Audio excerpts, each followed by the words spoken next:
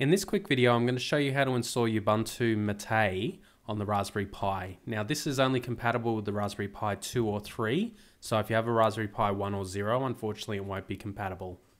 So the first thing you're going to want to do is go to ubuntu-mate.org. Once you're there, go right up to the top and click on download. On this page, you'll be presented with a few options, and what you'll need to do is choose the 16.04.2 version, and then go right to the very end and click on Raspberry Pi. Here you'll be given a couple of options to download. You can use a torrent or you can download it directly from here. This file is about a gigabyte, so once it's finished downloading, what we'll do is we'll open up Etcher and we'll start writing the image. So the first thing you'll do is you'll select the image. Once you've selected the image, you'll select your device. Now just make sure this is the right one. And after you've selected your device, we'll hit the flash button.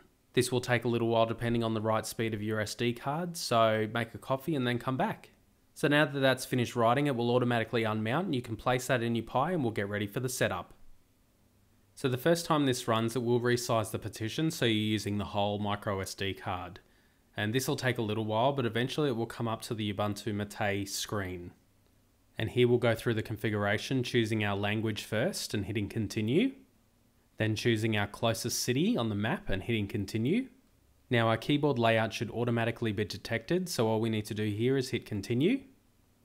And now we'll choose to type in some details about ourselves. Now you don't have to use your real name here obviously, so pick whichever you like and then just hit continue. And now the configuration is done, the system will start setting up the rest of the installation files.